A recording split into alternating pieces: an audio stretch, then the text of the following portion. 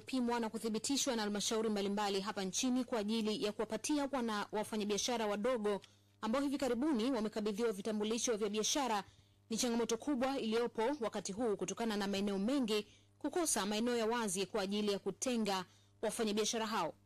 Kauli hiyo imetolewa na afisa kutoka ofisi ya Rais, tawala za mikoa na serikali za mitaa, Faraji Mbulalila alipokuwa akichangia mada katika mdahalo uliokuwa unaangalia eneo endapo sera za kuwasaidia wafanyabiashara wadogo kukuza biashara zao kwa kuwajengea mazingira rafiki bila ya kuvunja kanuni na taratibu za maeneo yanayomilikiwa na watu binafsi na halmashauri.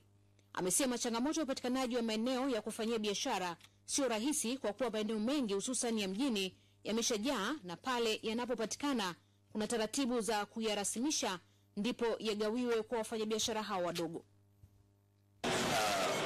Ya TAMISEMI uh, imetoa maelekezo na halmashauri zote 184 zimechukua hatua ya kutenga maeneo.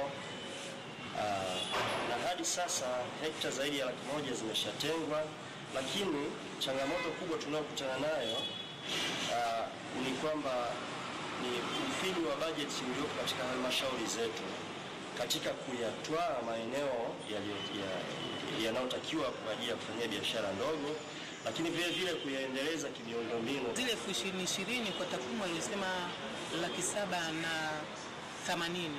Laki saba na themanini kwa nchi nzima ambao tayari wameshapata vitambulisho hivi. Ina maana basi watengewe sehemu maalum, pamoja kuwa wanasema bado watahitaji kukaa na wadau, lakini pia kuhakikisha kwamba tunapata mafunzo.